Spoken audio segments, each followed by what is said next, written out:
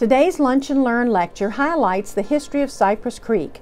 It was mentioned by name as early as 1657 in land grants, and its waters have witnessed much history in Isle of Wight County since that time.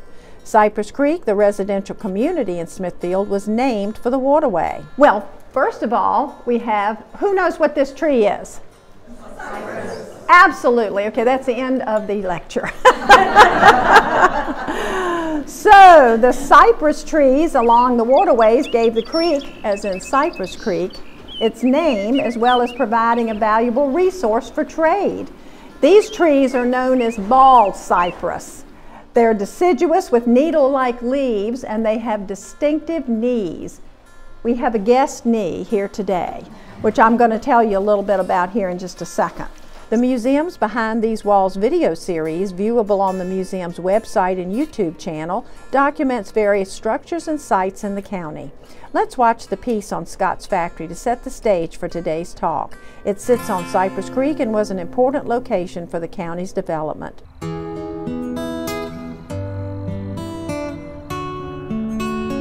Today, we'll visit a certified tree farm along Cypress Creek where Scott's Factory once operated.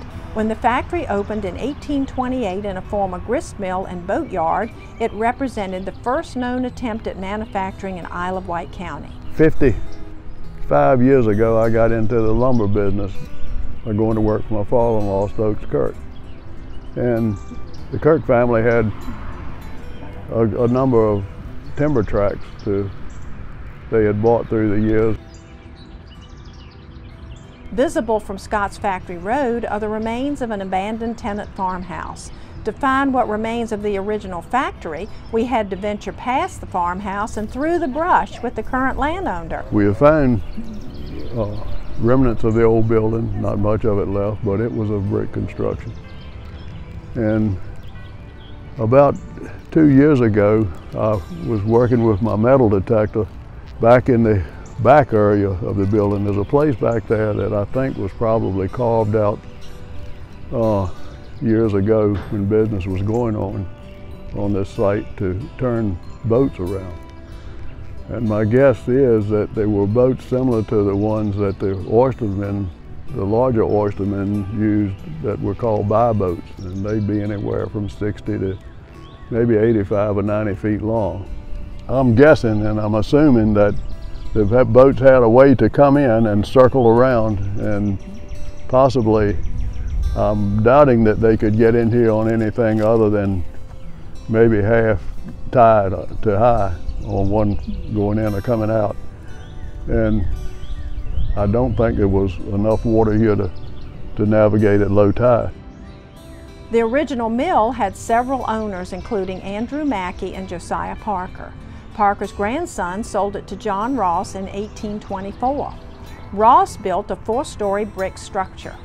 James Scott of Norfolk then bought the property when it was known as Logan's Mill and had bricks marked Logan, even though no one by that name ever owned it.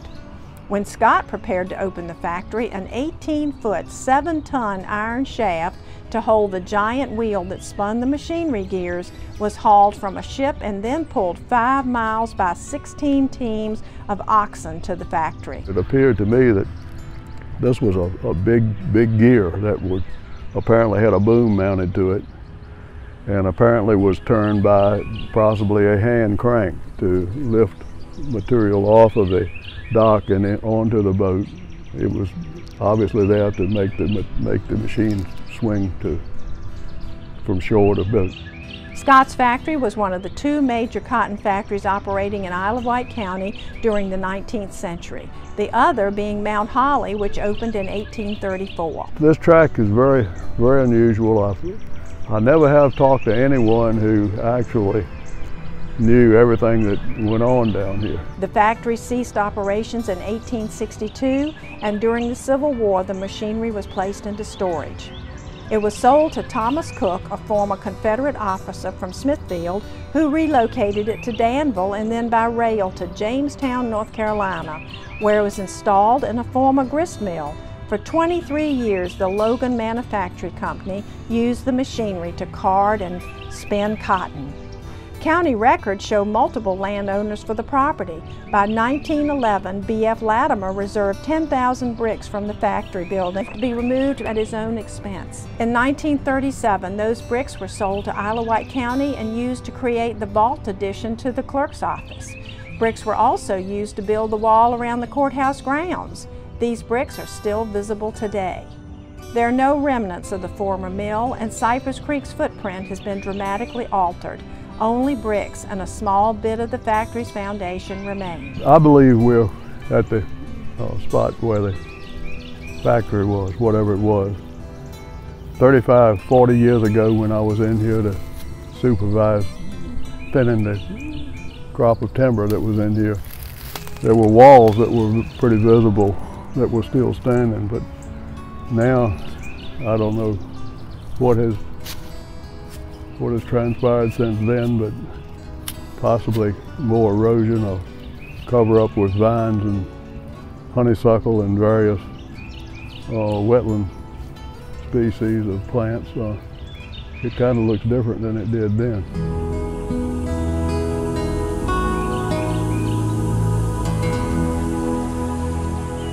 So isn't it amazing to think about boats turning around in Cypress Creek? Just the thought of that is amazing.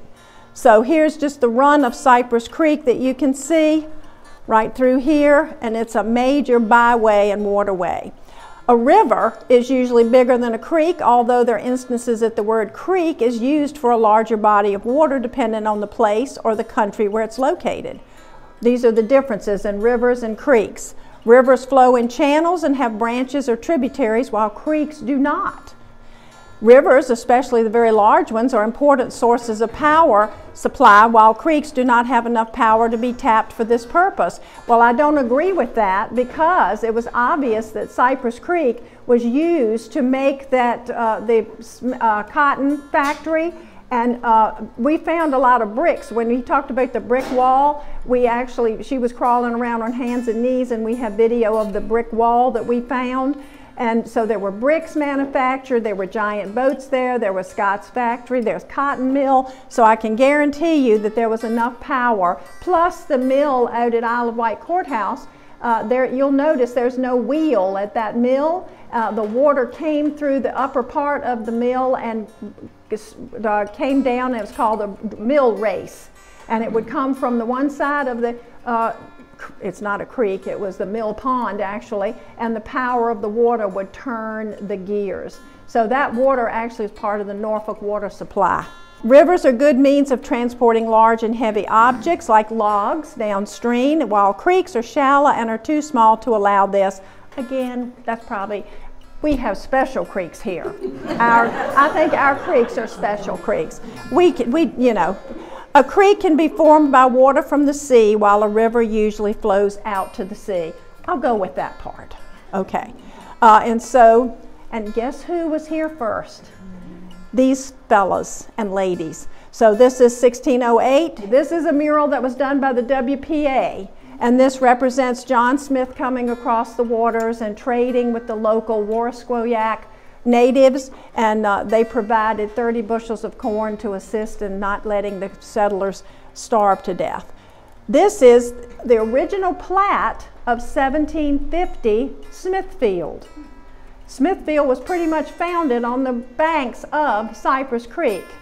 These were the lots uh, that were 72 lots that were offered for sale, and uh, and here we are. Look how fancy those dudes are dressed. And I love the way that uh, as he comes down to the uh, where the folks are with the hogsheads of tobacco or whatever, he's providing a beverage with a lovely, uh, really, that's a bit much. But you see tobacco over here, and tobacco really wasn't a good crop here. Uh, it just didn't, our soil was not suited that much for tobacco. So let's talk about the uses were varied for the cypress uh, and important for the beginning of our colony. An important characteristic is they're rot resistant. They were used to make fence posts, doors, flooring, and very importantly for me who does the cemetery tours, caskets. Cabinetry and boats. They're not used as much today because they're slow growing. And along, this, uh, along the boundaries of that, this is where uh, Arthur Smith I came in 1637, and we had Arthur Smith the first, the second, the third, the fourth, the fifth. No imagination in the Smith family, evidently. So his son, grandson, Arthur Smith IV, and probably his brother, assisted in that map that I just showed you about uh, offering those lots for sale. And because we were right on the river and the English wanted a, something on the navigable body of water that they could have trade. And it's pretty safe. If you look at the river, if you go on a tour with us, our walking tour of Church Street, you can actually see the way the river just does like this. And that was great for people coming in, and it was not great for the pirates who could come in, but they could not turn around and get out very quickly. So that made us a little safe. So Right here we have our guest cypress knee. Uh, I'm not going to hold it up because probably I'll drop it and that'll be a big mess. So later you can look at it. There's a cypress knee. How many know about cypress knees?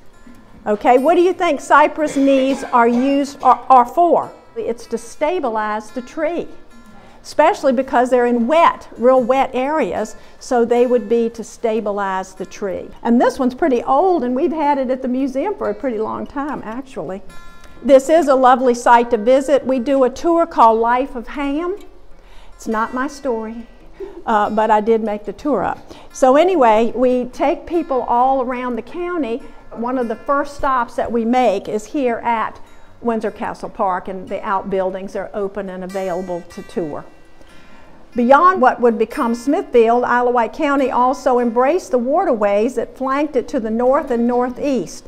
So we have Jones Creek, Chuckatuck Creek, Ragged Island Creek, and they provided opportunities for wharfs all along the way that could accommodate ships of shallow to medium draft. The goods of an emerging rural economy were hauled to these waterfront docks and they're consigned to shippers who would take them to market. This is Captain Samuel Wentworth's property that's right there on Main Street. Um, that was his warehouse. His house is a brick house right next to it, 1752. So this is uh, just, just as you turn off at Christ Episcopal Church, this is about two houses down. And so the older part here on the left was built in the mid 1700s and this other part was the later 1700s. Um, this was his warehouse. But when he passed away, speaking of what cypress was used for as for the furniture, but shingles were a vital part of that because the English really wanted those shingles. So in his estate, it was listed that he had 40 to 50,000 cypress shingles available. So obviously that was a big deal. And here we have, how did people get across the river? What was the deal? We needed to do something to be able to cross these creeks. As early as 1784, two privately owned ferries were available. There's no record of when they ceased to function, but there were two family owned bridges. The Pierce family owned the bridge across the Pagan Creek, and the Purdy family owned the bridge across the Cypress.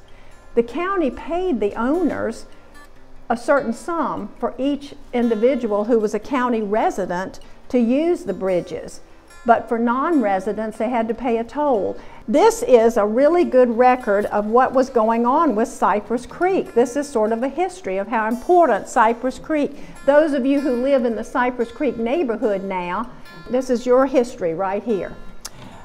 January 1781, 200 British Redcoats of the 80th Regiment of Foot crossed Cypress Creek Bridge to engage the local militia units, and that's Battery Park. They return along the east side to threaten Patriot forces at Mackey's Mill. January 1781, British and Hessian troops rout local militia under Josiah Parker at Mackey's Mill by using a footbridge over Cypress Creek. 1828, we just discussed about Scott's factory and the grist mill that took place, and we also had manufacture of peanut processing that was later. 1862, Following the Confederate withdrawal, the Cypress Creek Bridge was dismantled to prevent uses by the Union forces, thus creating a military cul-de-sac of the town of Smithfield, which made it much safer to be here than elsewhere. January 1864, This was the famous Battle of Smithfield, and that's another tour you can take with Albert that's very interesting. Uh, this Cypress Creek Bridge remnants create an obstacle, obstacle forcing Union troops to go get off at Hodges Wharf, and that's Smithfield Station, beginning the two-day running fight with local Confederates known locally as the Battle of Smithfield. Well, we sort of won that battle.